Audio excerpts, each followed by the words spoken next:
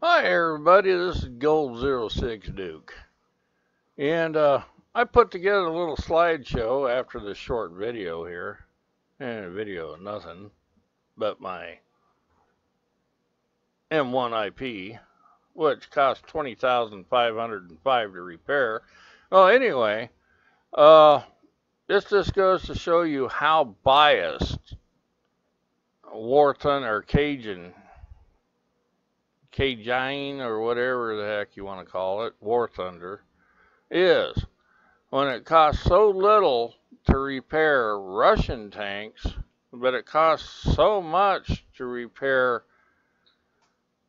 some of the American tanks and a lot of the American planes.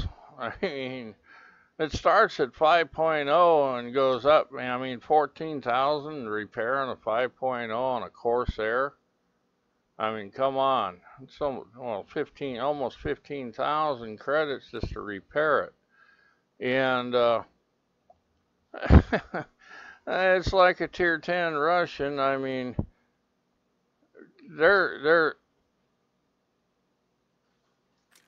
uh, check this out. I'll show you here real quick. And get out of the helicopters.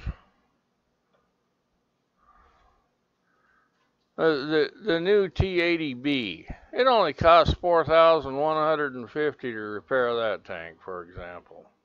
Well, anyway, it'll go through it. But other than the aircraft, uh, the Russian, there's one Russian aircraft that costs fifty. 51,300 if I remember right to repair.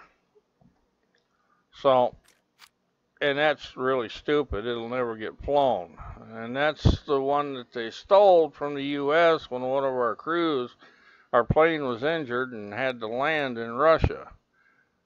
And uh, they took it. They didn't give it back. They sent the crew back, but the plane stayed there and they wouldn't return it. So they copied it and yeah, I don't know if they built any more than that one they had. They probably did, but they copied it and built it.